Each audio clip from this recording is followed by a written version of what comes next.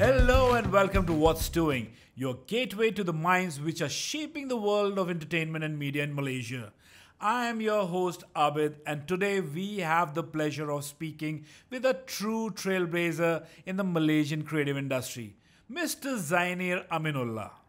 Zainir is the CEO of Revolution Media, which has been a pivotal force in evolving the landscape of Malaysian media. From his pioneering days at Astro to venturing into his own content company, Revolution Media, Zainir has consistently pushed the boundaries of creative content for local audiences and also internationally. Today, we are set to explore more into Zainir's journey, his insights into content creation, his successes with projects like Dirk Gently's Holistic Detective Agency and The Ghost Bride for Netflix, and his vision for the future of media. Welcome, Zainir, on What's Stew-ing. A disclaimer for all our listeners and viewers that Zainir was my boss for six years at Astro, and he was more of a friend than a boss, and uh, he was always been a mentor to me. So it's a great honor for me to have you on What's Stew-ing. Thank you so much for taking time out and coming onto the show. Always a pleasure talking to you, Abid. So uh, let's start off from the very beginning. I mean, Zainir, you have you you have been in oil and gas for God's sake, and then you made a move to media. How was that transition? How was that journey? Means what made you go from an engineering side to to a creative side? Well, some would argue that media is also a bit like selling oil. Um, I was an engineer by training, so um, I worked for an oil and gas company for a while, but very quickly I moved on to do marketing and general operations. So I did not uh, stay to practice my engineering skills. Um, and I think at that time the opportunity was uh, irresistible because you know Astro was launching in 1996, uh, brand new company, brand new service, brand new technology, and it was just too exciting for me to uh, say no to. Um, and the transition to Astro was um, not entirely that difficult because I was essentially coming from a marketing and operation background. My first job at Astro was uh, sales. I was basically uh, doing commercial sales, so selling Astro to pubs and restaurants and hotels and hospitals. Uh, that was my job, um, and I did that for a while before I moved on to uh, marketing, and then only later that I was um, uh, I joined content. So you did your whole nine yards of you know getting to that content space rather than just walking in from from an oil, uh, oil and gas uh, industry and yeah yeah. So i think that was the transition from doing engineering because that's what i studied for three years. Okay fine. Done. Done that. Um, but the years in sales marketing both uh, in the previous company and astro uh, really prepared me for my job and my responsibility at content because that uh, gave me a very strong perspective of the consumer uh, and I had a very strong consumer uh, POV whenever you know we looked at uh, content strategy. So taking that uh, from from from the strategy part of it, uh, reflecting on your time in, at Astro, you know, what was the key strategies did you implement uh, in content creation for the new Malay language channels? Um, what I said earlier uh, is really a, a, marketing mindset. It's really a, a, viewer mindset. It's really a consumer mindset. Um, when I was made responsible for content, the brief was very simple. The brief was back then, at that point in time, Astro was very strong with two consumer segments the English speaking urban households um, because we had HBO and um, uh, English Premier League, all this urban content, and then uh, the Chinese segment because we had you know Wah Lai Toi and the plethora of Chinese channels. So the brief to me was we need to get the Malay subscribers because that's basically the pyramid you know fattens with that segment. We need to make sure that they come in right.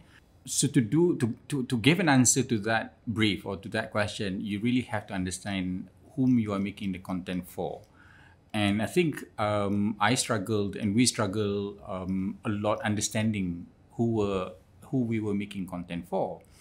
And you know, uh, we always get you know in a discussion with various parties, including agencies and research people and so on. You always get to try and define who is this viewer, who is this consumer, and um, normally you go with certain demographics, you know, whatever, 15 to 29 and male versus female, urban versus house, urban versus uh, rural.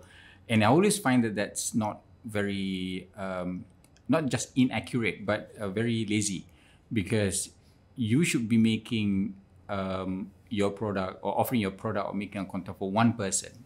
So I think earlier on, uh, when I took the job, I would always get into a discussion of who, describe to me who this person is. So, uh, okay, 15 to 30, so 25 to 39. Who is that person? Is it more 35 or 31? Because that's two different stages. 35, you got your middle, uh, middle, uh, midlife crisis to some people. 31, you're still, you know, busy with your toddler, right? So try and describe that one person uh, and try and be accurate. She's a 35 year old housewife. She's living in Ampang. She came from Kelantan and she's now doing this and she's now doing that. Her kids go to Sekolah Menengah Kebangsaan. Be precise because once you're precise, then you can actually form a core circle and then from there you expand. So you have like you, you can easily say that okay, this person Mm. means, for example, Abid is, is is your audience, and this is what he'll be watching, and that what what point of time he'll be at home, and what kind of show he'll be liking. So I think that's that you you're just giving uh, a structure to your audience rather than. So my next question is that you were involved with one of the biggest reality shows in Malaysia, and till date, I think Malaysia has ever seen Academy Fantasia. That was huge. That was big, and and we are not talking about the era where we have social media. We have, you know, such great response straight away, instant stuff happening.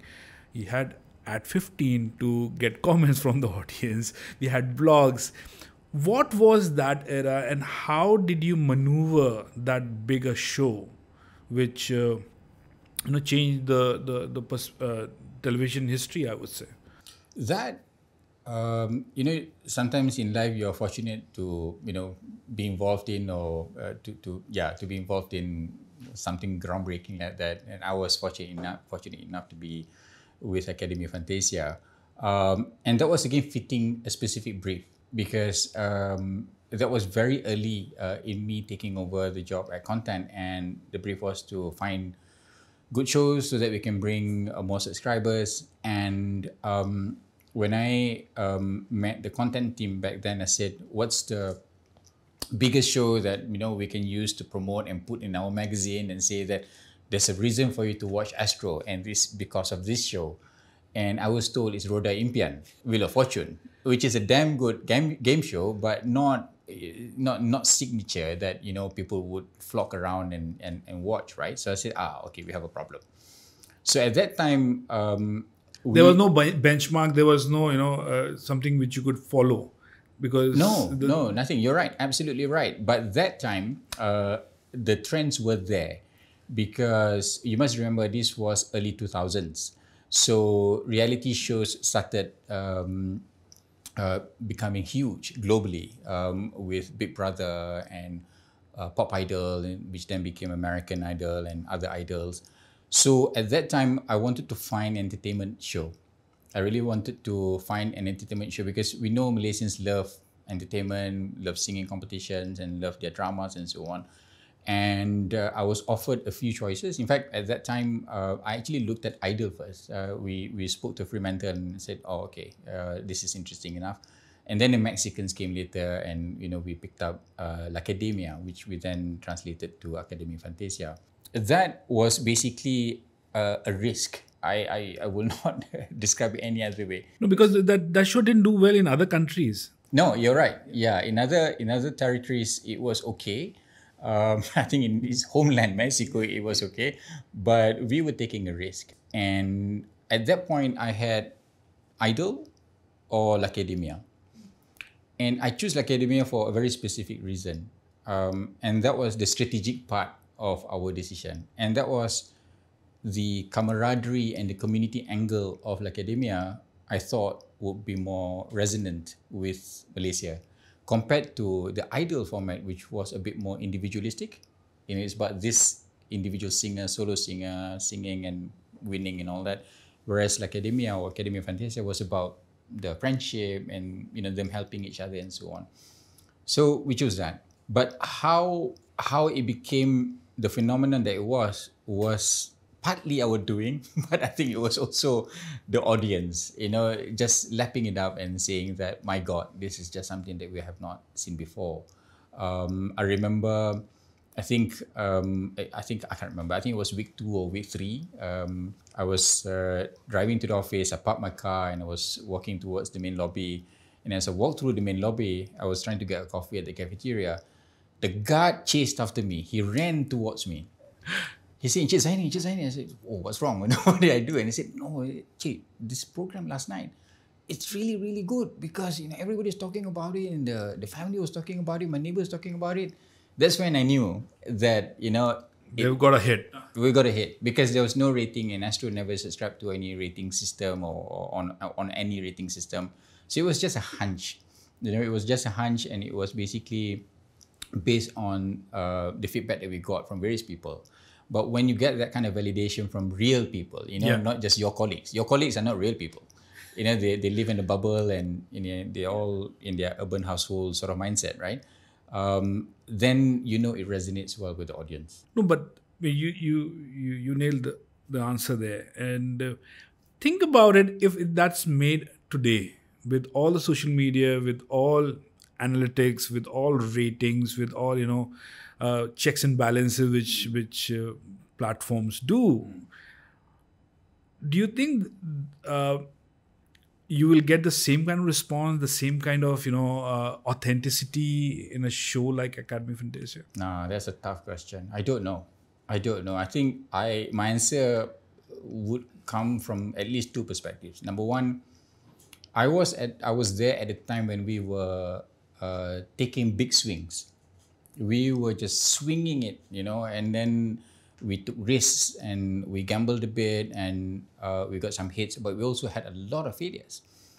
Um, I'm not sure that in this current uh, in the current time when people are very you know cost conscious and so on, a show like that would have been greenlit. I don't know. Number one, from the maker's perspective, right? Um, as an impact to the audience, I also don't know. I think today, when we are so sensitive and we are so reactive to what people say and how people react online and elsewhere, um, you have no choice but to either comply, abide, or adjust. Um, and that would somehow dilute, you know, the It will become more clinical. it will, will be more clinical and it would be, you know, uh, not so authentic because a lot of the attraction was the rawness. rawness, innocence of the participants, right? And our own, you know, uh, from the production perspective and from from the maker's perspective, our own ignorance and our own rawness and our own ability to just say try this and try that it doesn't work. I remember every Tuesday we would sit down and plan the concert on Saturday. And it was basically in my room. We look at the set list and you know this song, and that song, this song, and that song, and then all the surprises would come and so on. And it was just the four or five of us, you know. So today, I don't know whether that could still be done. I'm sure you know that would need a committee to approve. You know, so it's different. You lose all, all the you know uh, the the the rawness, the the immediate you know reactions. I think uh, with so many data points and so many touch points, you you pretty much lose that uh, you know spontaneity uh, in a show. And you don't know nowadays with uh, cancel culture and being woke and so on. A show like this is, is just hitting hitting it hot Yeah. with a lot of different types of uh, of viewers and audience. So I don't know. I was just lucky. You were actually we, all were I mean part of it at at one point in time. I think pretty much uh, whoever was uh, you know uh, involved in broadcast media at some point in time were were touched by this show. So yeah, I, I completely you know we, we were all very lucky to to be uh, some way or the other part of this big show. Uh, coming to these three channels which were, were which were bought in under your purview. Uh, one was the 24/7 news channel Awani. The other one was the Islamic channel Oasis, and the Kiss channel Ceria, which I was also a part of in all three of them. What was the strategy behind it for bringing these three very key channels for Astro? I mean, you're asking all these questions from 24 years ago, you know, 20 years But ago. th- it is still it is still effective. It's still you know yeah, but I may not remember. you're not that old. Okay. All right. So uh, at that time, we had a regional vision. Uh, we had an office. Uh, we had a, a relationship in Indonesia, uh, which we, uh, which meant that we wanted to, you know, we had a proper content strategy there with channels and and and and uh, original shows and so on. So out of that vision came a series of niche channels. Um, and it, you can imagine that the thinking was very, very uh, simple, uh, if I can just simplify it. Um, one was um, the highest rating uh, uh, content in, in Malaysian landscape is Bulletin Utama. Was, I don't know what it is now, but it was Bulletin Utama. So that's number one fact. You know, what's the insight from there? People want their news. So then came the idea of what if, you know, we uh, just have our news channel to offer something throughout the day, keeping Malaysians updated um, as, as they keep going. Um, Oasis was coming from the idea that you know with a growing Malay subscriber base, surely it's not one generic definition of a Malay man or, or a Malay woman or a Malay family, right?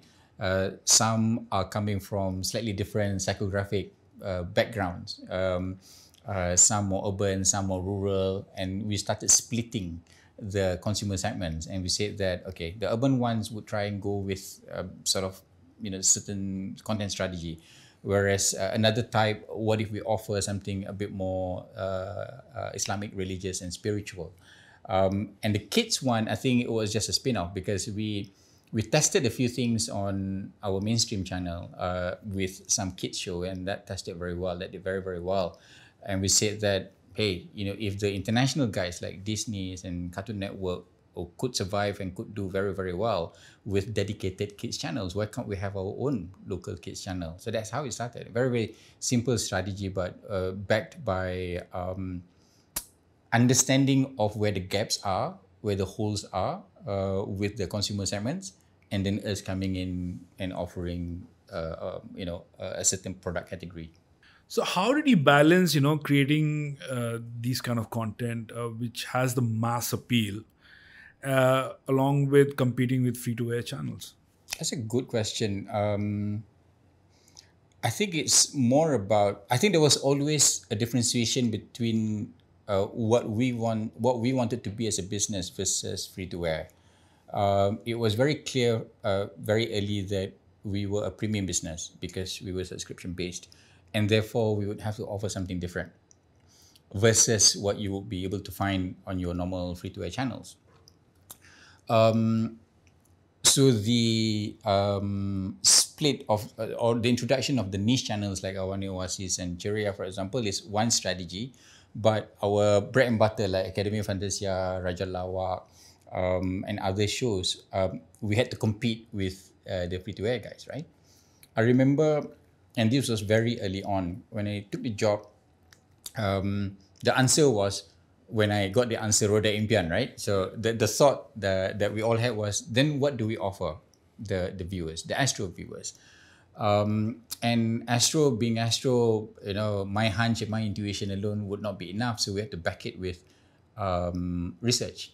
So we commissioned massive focus groups, you know, going up to the north, to the east, and Borneo, Sabah, Sarawak, urban, rural. We had, you know, multiple dozens of groups, um, and we were listening through the one-way mirror what the makciks were saying about, you know, what they want to watch. The uh, the, the question was, what would you like Astro to offer you, so that you can pay the ninety ringgit, the hundred ringgit, the sixty ringgit a month? What would it take for you to subscribe to Astro? And they were saying, you know, we watch a lot of Cerekarama, we watch a, watch a lot of Akasia and all this drama, very, very successful drama slots on TV3.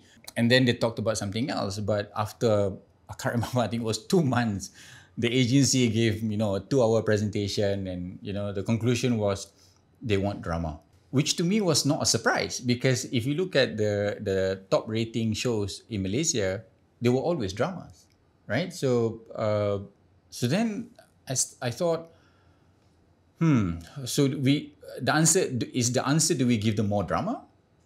Isn't that a proliferation of the same content, right? Okay, you can make your drama more expensive, more shiny, more glossy, whatever, but it's still drama, right? So I I, I was bothered with that uh, conclusion, uh, and I didn't have an answer to that. But if you think about what we did, when Academy Fantasia became uh, hugely popular, uh, I had to face the press every week.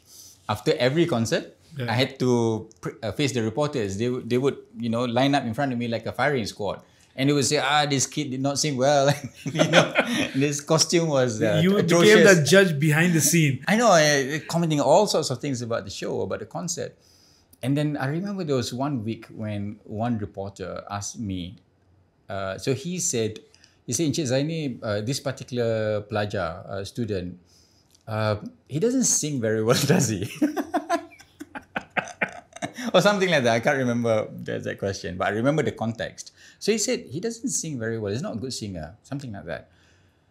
So then I gave a I gave an answer. I can't remember what I answered, but I gave a politically correct answer. I gave the appropriate answer. You know, um, but in my mind, I said, ah, but you don't get it. Academy of Fantasia, Academy of Fantasia is not about singing. It's a drama. Yeah. So coming back to what I said earlier about consumer research, so Academia Fantasia was uh, a solution offered not to a direct question. Because if people wanted drama, I always say that sometimes most most of the times people don't know what they don't know. Right? So if all you're used to is drama, you don't know what else can actually excite you, can make you cry, right? So in coming up with a solution, sometimes it's never a good approach to basically just look at what's in front of you. You just have to have a peripheral vision and make sure that you're able to look at all angles. Yeah, that's a great answer. That's that. I think that I agree with you on that one. So from Astro, you moved on to Ideate Media, which is now Revolutionary uh, Revolution Media. What was your thought process at that point in time? What do you wanted to build? What was the strategy, and uh, how did it all start? Uh, I wanted to start a shop. Well, at that point in my career, I had two choices to keep going um, in the corporate world or to venture out on my own and find my own niche. Um, and the thinking was um, can we do something that sets us uh, apart from the common playing field in a way that our products can actually have uh, international appeal?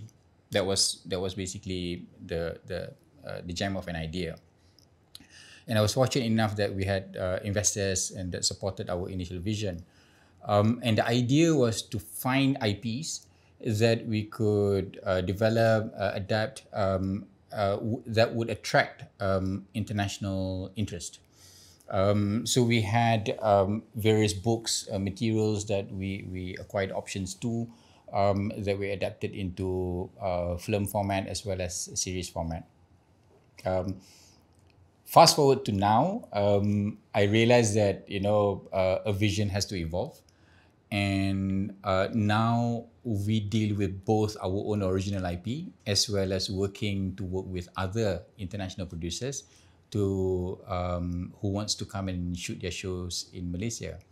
So my business has somewhat evolved, um, where we do both the scripted stuff, our own series and films, our own IP, as well as um, working with other platforms, as well as doing servicing jobs for international studios, um, which you know, which is satisfying because you are really selling Malaysia.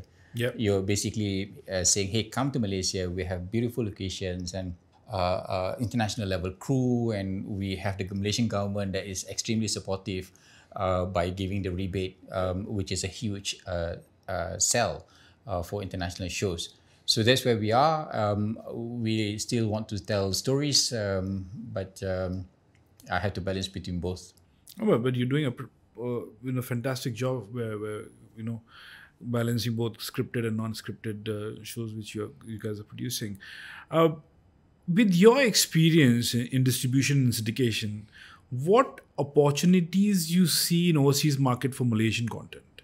That's a tough one because we always uh, you know we always talk about what kind of content should Malaysians create that will travel internationally, um, and I think because I'm an engineer, so I always look at data points, right? So if you look at all the data points of films that have made it out there, I don't know whether you can call it a trend or whether there are specific patterns um, for you to say that this is the, the the formula, this is the right amount of soy sauce to put in this product, right? Well, I mean, judging by this year alone, uh, Abang Adik and Tiger Stripes and samples like that would then question uh, what kind of content we should create. From my perspective, um, I'm, I'm coming from a very commercial perspective. So it's always about, ideally, it's a situ- situation where at development stage, at the creative stage, we actually uh, get an interest from potential partners internationally. And then they would come in and say that, ah, we like what you're doing.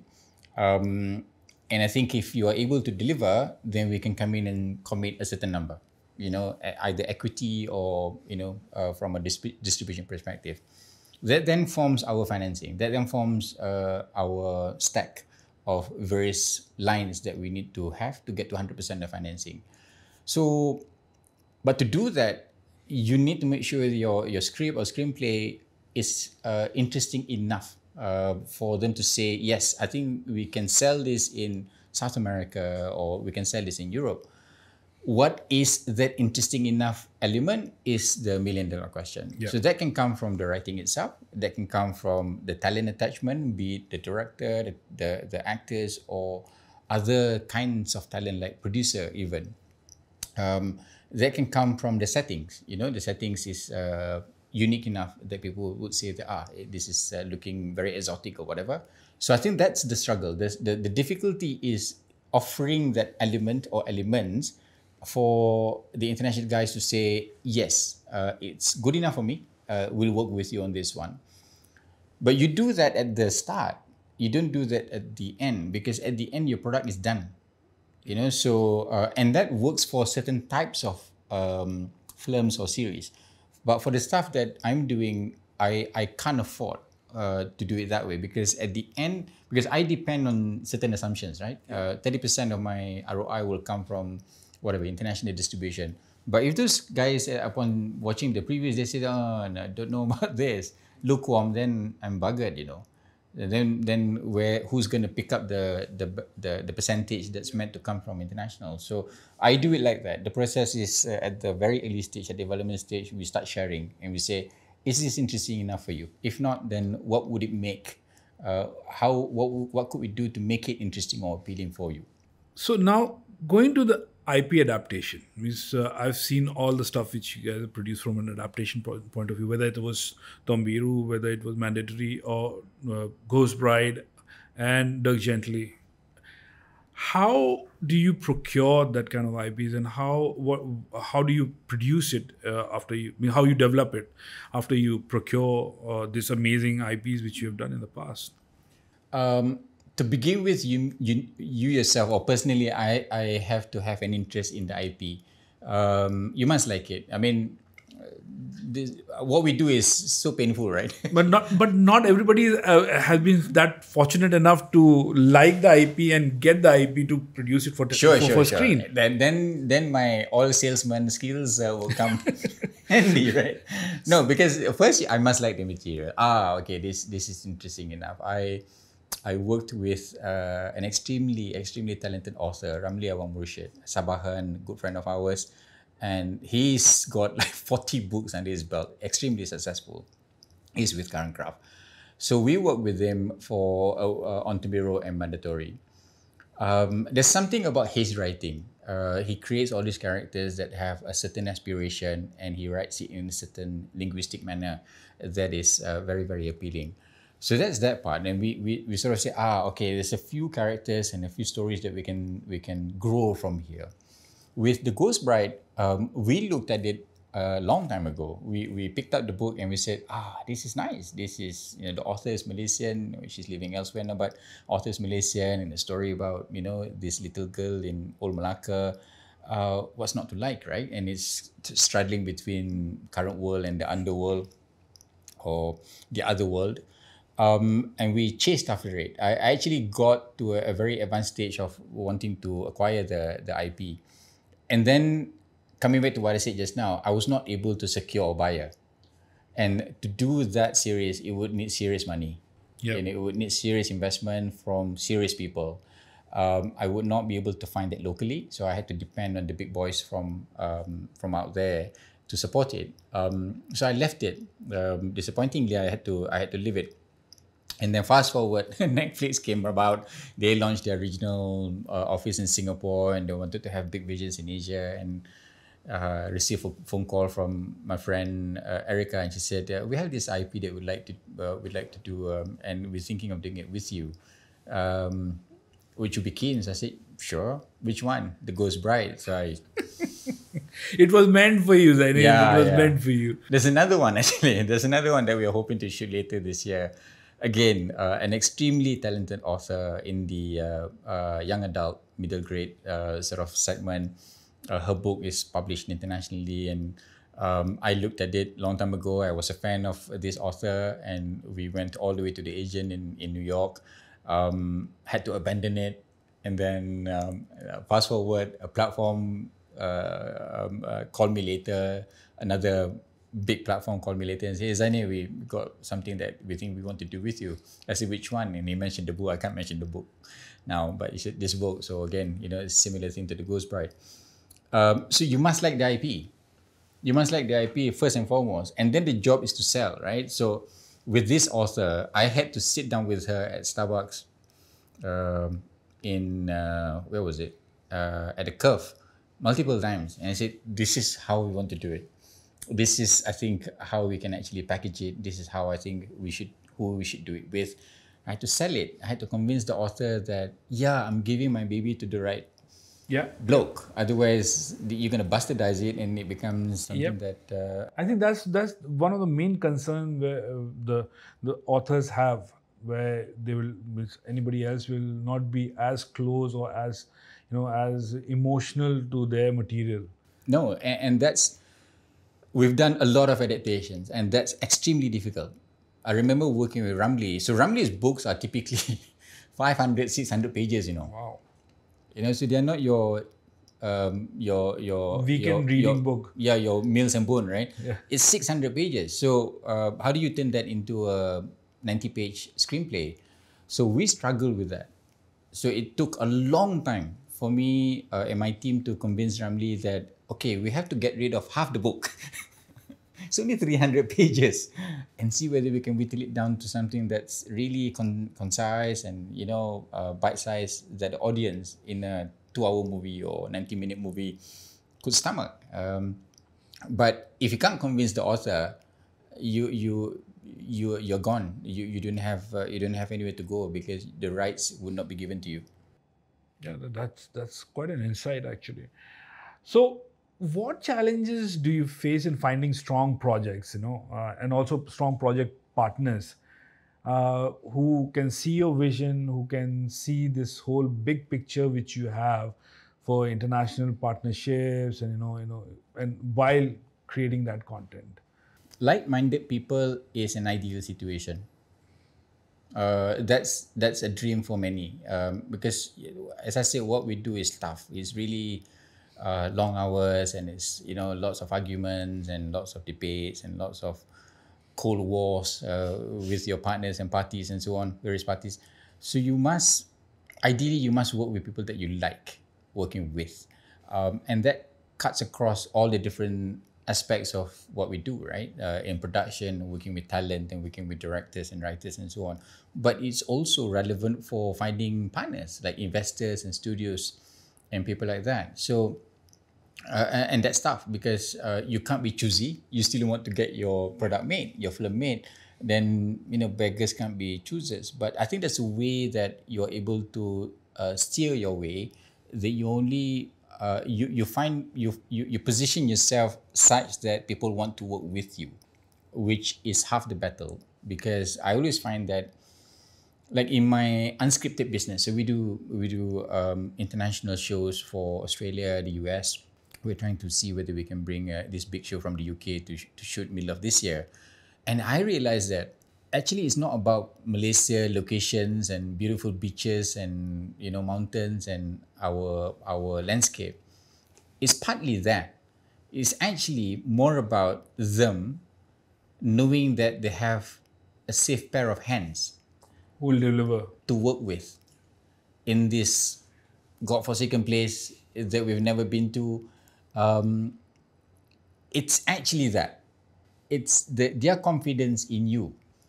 And, and, and I think that's a lot, that, that's what a lot of people don't see because uh, I, I have a lot of friends who keep wanting to promote locations and so on. I say, yeah, locations is one, but Vietnam has beautiful beaches. Thailand has beautiful beaches. And then, you know, uh, there are active volcanoes in Indonesia, right? So Malaysia is not unique in that way. We have many other unique, uh, appealing elements that we can use to promote. But actually, it comes down to the people. They need, they want to. You need to make sure that they see something in you and they want to work with you. Because without that, then you know, uh, it's going to be very, very painful. So I think that's that. That's been my mantra, and that's been the way that we try and nurture our relationships and make sure that they're confident and again, what a lot of people don't see is um, the strength in what we offer is both what you see and what you don't see. Because people see locations and people see actors and people see uh, you know visible things that are common uh, common to a lot of people. What people don't see is the plumbing part and the plumbing is uh, is what makes or breaks the company. You know, it's the contracting, it's the accounts, it's the way that we manage the reports, the way that we report the cash flow and so on. Um, uh, that can be a secret sauce because without that solid foundation, everything else is fluff because yeah. you know it can just easily crumble if if the bottom parts are not solid. The base has to be really really strong. Yeah. Not much has been talked about Dirk Gently which I thought was an amazing series. Uh, so, how was it to develop that series and produce that series, uh, which I don't think uh, not many people know about? Connections are, uh, are, are, necessary in, in, a, in a situation like that. So, Dirk Gently is a character in IP created by Douglas Adams, uh, mostly known for um, Hitchhiker's Guide. Hitchhiker's Guide to the Galaxy and my partner uh, Arvind, who um, who basically managed our office in LA, uh, had a connection with Douglas Adams way back when he was still a student. Uh, so fast forward when we uh, decided to get into business together, um, he said, "I think you know we have a we have a shot uh, at trying to do this because the IP somehow was released from uh, somebody holding on to it." So it was available. So we went for it and because of his earlier connection um, it was door half opened. So i think that's how it was possible to begin with.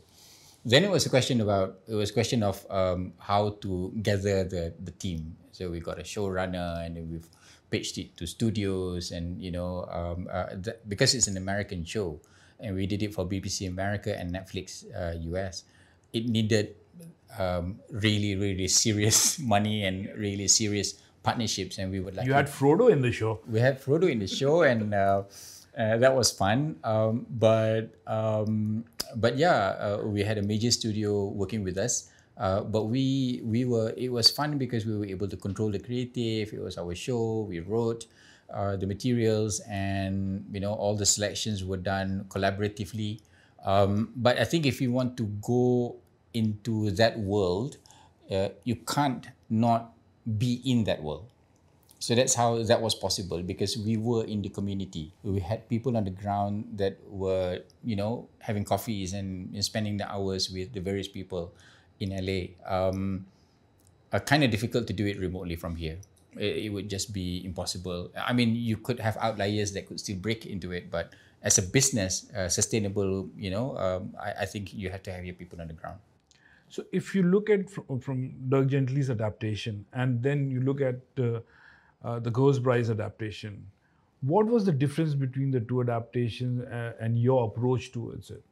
I think it, it was it was basically um, appealing to a much a much wider audience, um, global audience. Because as I said, we, we made it for BBC America and Netflix, so we needed the right attachment. So, so coming back to packaging, right? So we had um, Elijah Wood as as the lead, and we had named uh, people uh, in the creative side, on the creative side.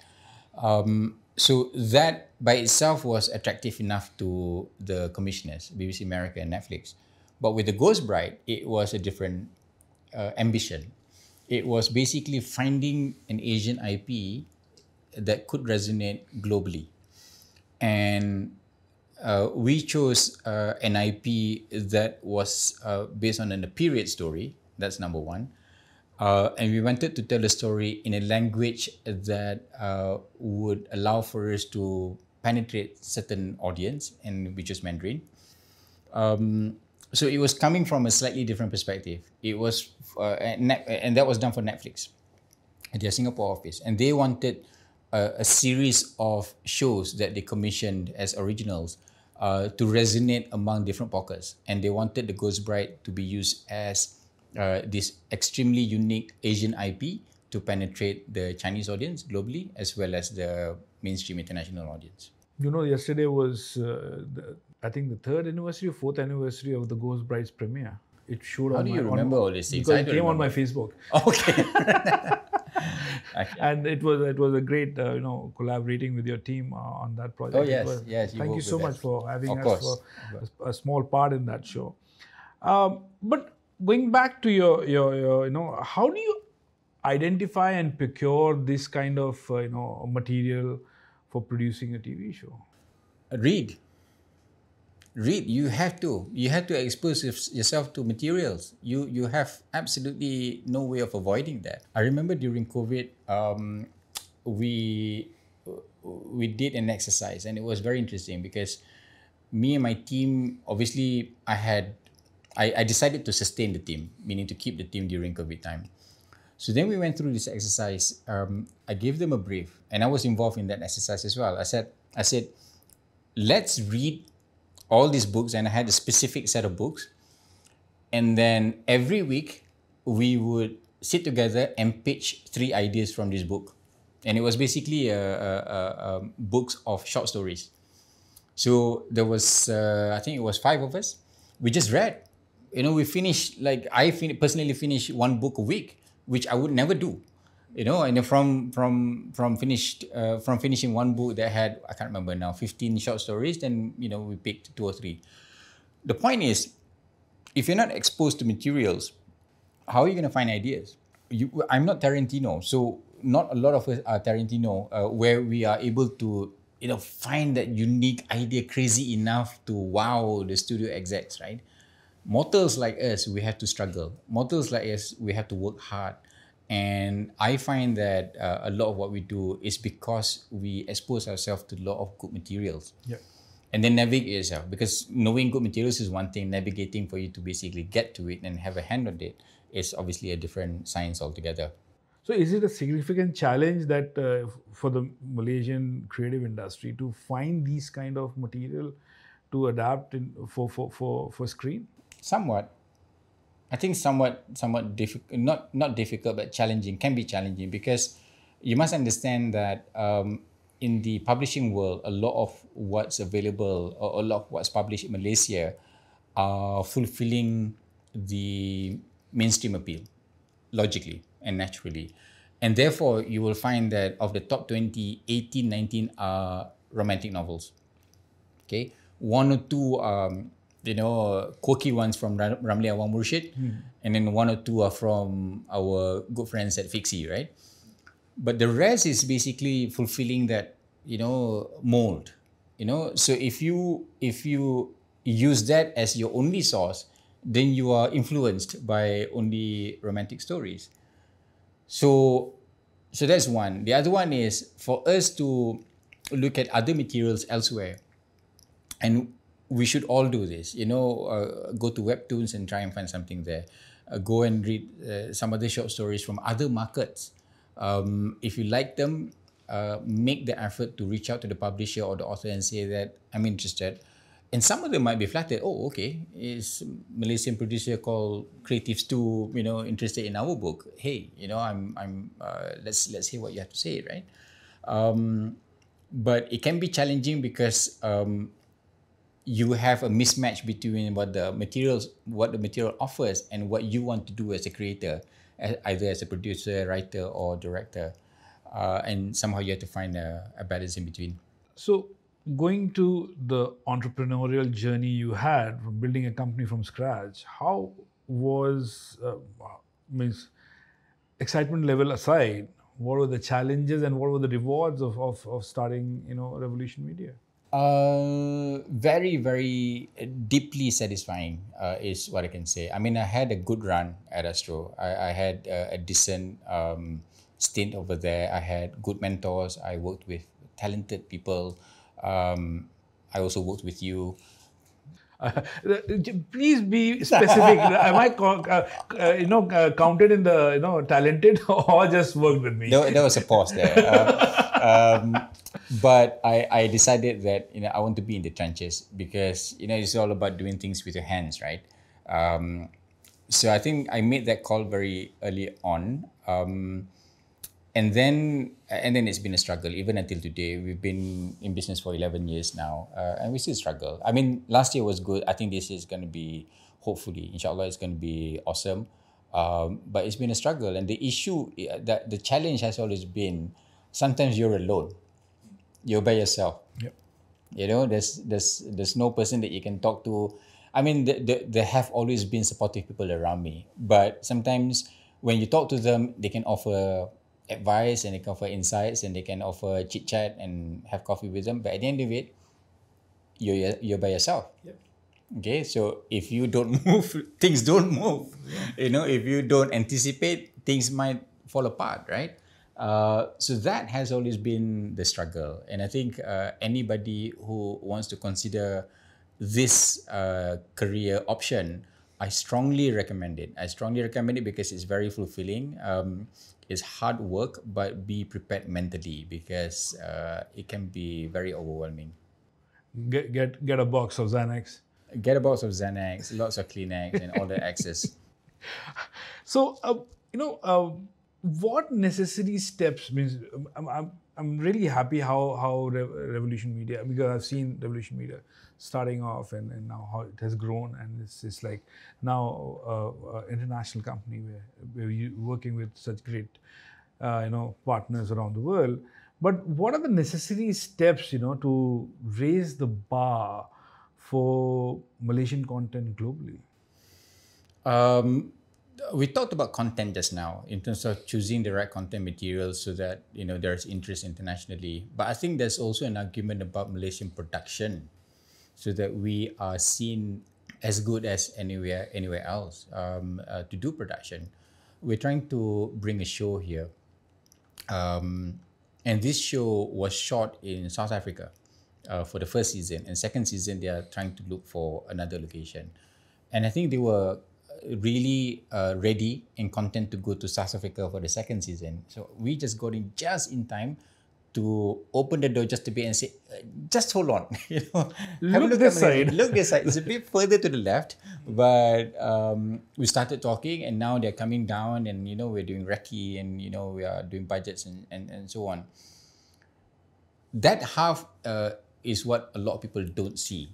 The, the the half where you really really have to sell yourself, Malaysia, our locations and destination, and our ability to deliver that is um, harder to me uh, than any other aspect of what we do. Uh, I was fortunate enough because we did uh, a few shows last year and we were just coming out of COVID. And um, I remember uh, I had a call, I had received a call from someone that I used to work with a long time ago. And he said he's, a, he's, he's, um, uh, he's Australian. Well, he's, he's Irish, but he's been living in Australia for a long time so he said, mate, I have this little show and I'm thinking of, you know, either going to Fiji or shooting it in Queensland. But, you know, uh, I'm thinking of Malaysia. Can you help me, you know, go to places so that we can have a look at a couple of islands? So I arranged for that. You know, uh, we went to Langkawi and Redang and uh. And to cut long story short, it then became a behemoth of a show, a giant and monster show, such a big show. It was like a military operation. From that show, the company that um, was commissioning the show, it was um, a company in Australia that was part of another global company. They then said, "Hey, uh, we got two shows coming up, uh, middle of the year. Can you help us um, shoot it and produce it?" I said, you know, it took me half a millisecond. I said, yeah, uh, let's do it. So we did the Amazing Race um, uh, Australia as well. And then I have another show that I can't name, but it's going to be on a major network uh, in the US. And that all came from the confidence from the first show. Yep. Okay, so fast forward to now, I have a show now that um, came to us uh, from a major studio, and we were recommended by a lighting person in our first show. Wow. So this lighting person, whom I met only a few times um, um, in Langkawi, and they said, "You guys should speak to those dudes at Revolution." That's how it came about. That's that's that's basic, and from there, you know, Ibrana it became something else, and then now we're doing a few things. But I can't stress enough the fact that uh, I was fortunate enough to have an initial connection, but your ability to just grow from there and make sure that you capitalize on the strong relationships that you have, um, you have to deliver. There's no shortcuts, yeah? Yeah, yeah. You still have to deliver. And hopefully, a combination of both your connection and your good delivery is that business card. And that tells everyone that's, you know, these guys are the real thing. You know, these guys are solid and you can you can give you can leave your wallet with these guys. Yeah, that's that's a great insight.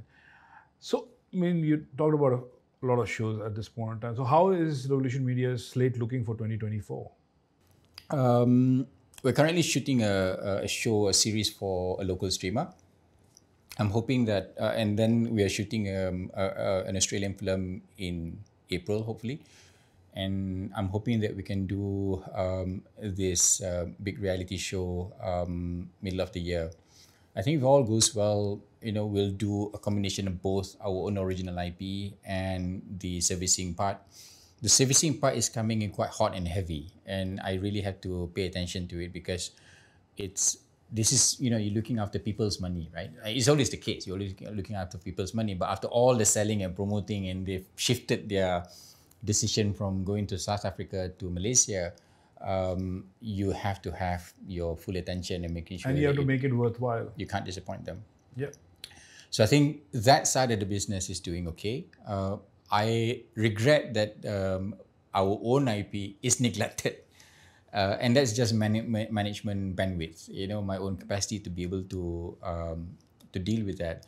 But I think with my team, you know, I got a, a strong um, core team, um, and this year is probably the year that we're able to expand and, and, say that we can deal with multiple shows and we can deal with overlapping um, pipeline. Um, so I'm hoping that because we got one IP that we've been wanting to do of uh, for a few years now.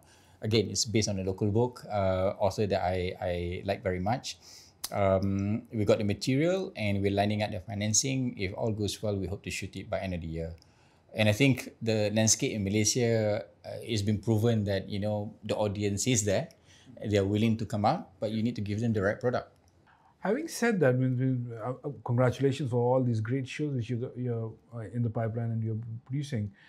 It brings me to another question, which is a very uh, right now it's a hotly debated debated question: is that do we have enough talents in Malaysia to to deliver that quality, that level of quality to international broadcasters? That's uh, a real uh, a real situation. I, I can say that. Um, I think we can deal with a few overlapping shows, but we can't deal with too many.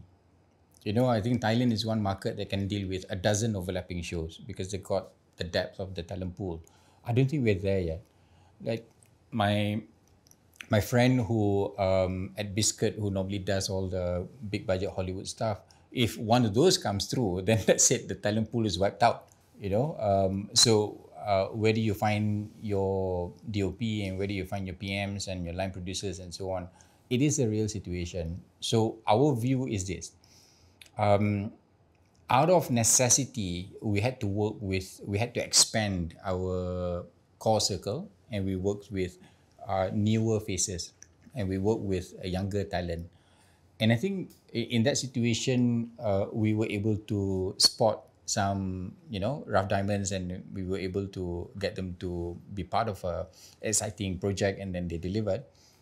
But also allowed for us to then try more and say we'll give you more responsibilities. Some of them have not been exposed to international standards of uh, producing, but that's where we come in and we say that you know there's a bit of hand holding and you know we will look after all your top line stuff and make sure that you don't you know fall off the cart. But between what we can offer as guidance and what they can offer as raw talent and raw energy um, that's the hope. The hope is let's let's bring up the third level and the second level because the top level is gone. Um, production designer for the ghost bride leslie Ew is is He's been living Can't in be Scotland. seen. Huh?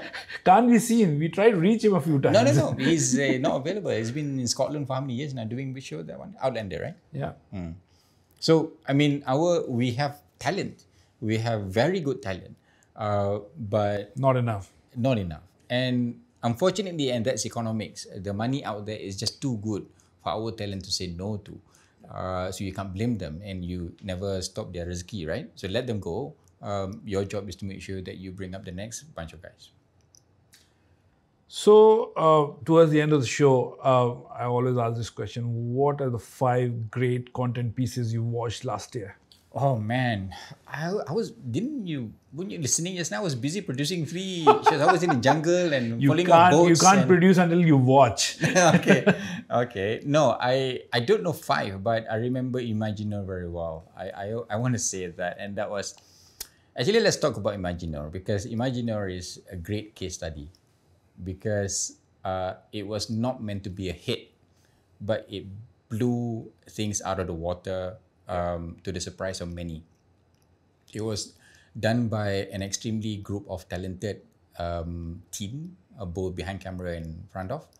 Um, and there was no marketing. There was no big studio behind it. Yeah. Can you imagine?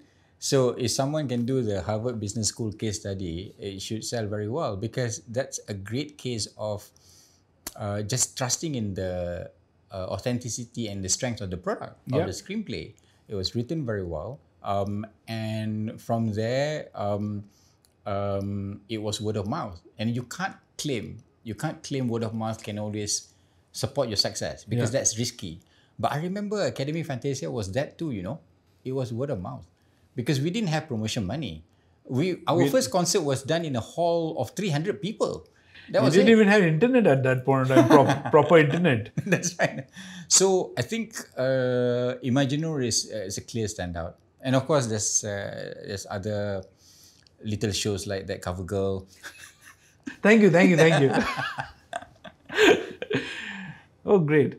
So that brings us to the end of the show. Thank you so much, Zaini, for all these great insights and, and lovely, you know, uh, strategies and stories which you had to tell us. And thanks so much for taking time out and talking to us on What's Stew-ing. Hope to and best of luck for all the new shows you're working on this year and the next. And hope to see all of them on international platforms soon. I've enjoyed this very much. Thanks a lot, Abid. Thank you so much, Zaini. Thanks a lot. Zaini's story is a testament to the power of vision, innovation, and strategic thinking in media and entertainment. His contributions have shaped the landscape of Malaysian media and paved the way for it to shine internationally. I am Abid, and this has been What's Stewing. Till we meet next time, keep stewing.